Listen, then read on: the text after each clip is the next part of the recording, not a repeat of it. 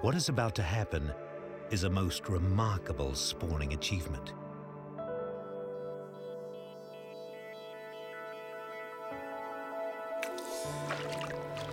Prompted by the male, the two fish leap together high out of the water where they cling to a hanging leaf.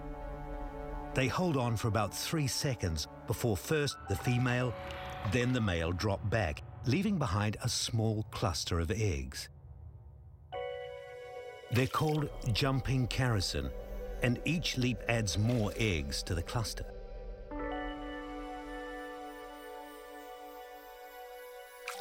The male's fully expanded pectoral and abdominal fins act as suckers, allowing the pair to hold on to the leaf. They continue until there are about 50 eggs, all covered with gel to keep in the moisture. But the performance isn't yet over. The male chases the female away, then begins the job of preventing the eggs from drying out in the hot sun. He does this by splashing them. As he smacks the water surface with his back fin, water splashes onto the leaf above. He's amazingly accurate and continues until the eggs hatch.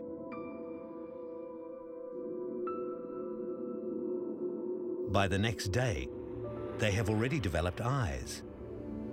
And the following day, prompted by the water splashes, the eggs begin to hatch. The fries enter the river with the falling water drops of their father's splashes. As they hit the water, the young fish seek out a hiding place among the leaves. Young Copella arnoldi have inherited a bizarre but successful strategy for spawning above the waters of the flooded woodland that now becomes their protector. Amazonia is not one continuous forest. Close to the rivers, there are broad, grassy plains that are rich in sediment. In the wet season, these plains are transformed into fields of floating aquatic plants of many kinds. Once the waters have risen, plants grow quickly in the intense heat of the equatorial sun. But without doubt, the most spectacular is the Queen Victoria water lily with leaves of two meters or more in diameter.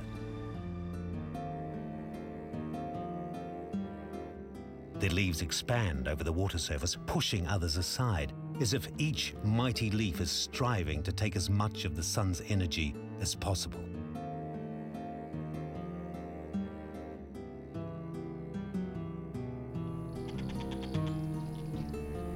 The fringes are raised to prevent flooding and armed with toxic spines, probably as defense against animals that would eat them. It takes one month for plants to grow out of the submerged plain and for new leaves to completely open. As Amazonian floodwaters expand dramatically and spectacularly, so do the leaves of Queen Victoria water lilies, with help from the equatorial sun.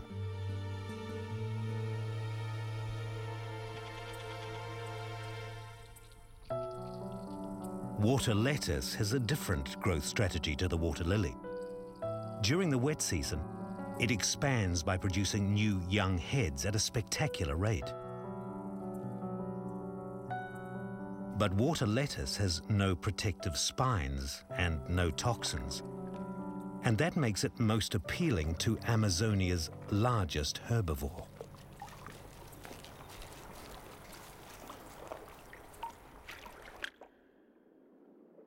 The Amazonian manatee, or fish cow, is related to the elephant. One thing the 300 kilogram manatee shares with its land bound relative is a voracious appetite. Each animal consumes 30 kilograms of water plant a day. Fortunately, there's plenty of water lettuce. As floodwaters rise, a few small plant heads appear. Soon those heads double and redouble again and again, and within weeks cover vast areas. Water lettuce and the other floating plants of Amazonia grow mainly in the wet season. So manatees must eat huge amounts of food now in order to build up enough reserves to survive the coming dry season.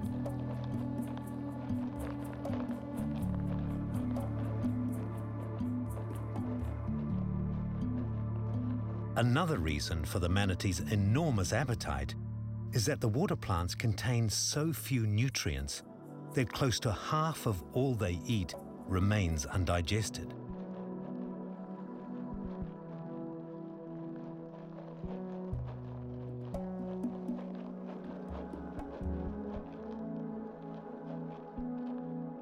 The manatees give the undigested material back to the river as feces. But in Amazonia, manatee waste is not wasted. Far from it. Their feces rain down like riches from above.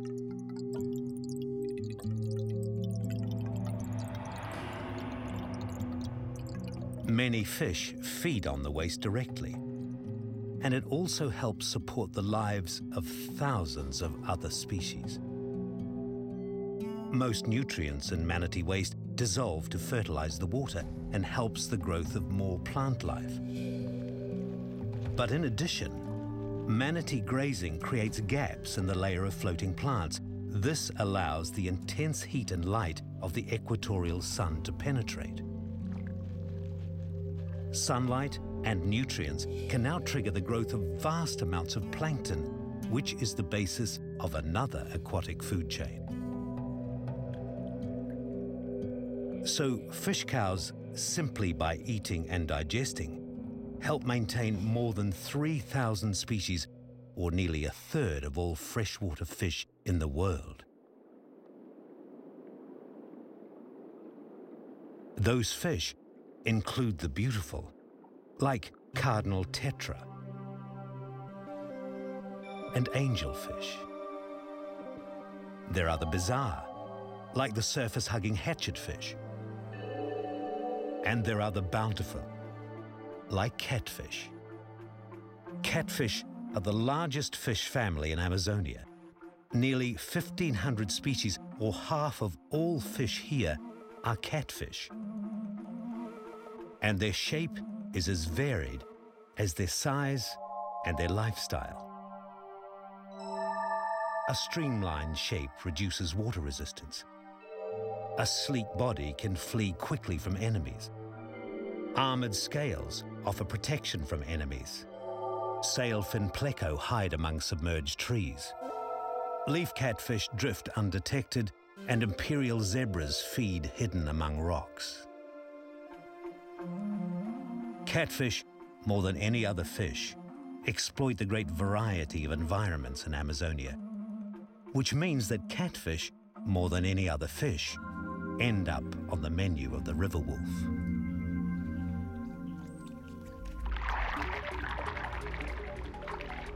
Giant otters are dangerous and aggressive and often hunt in family groups.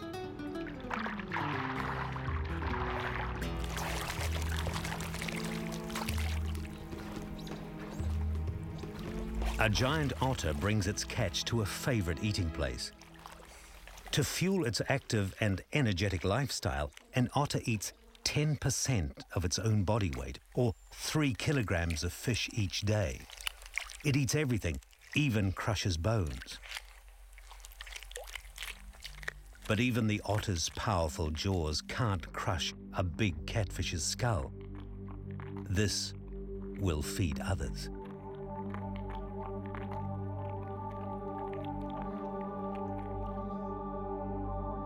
What an otter discards, a school of piranha quickly devour.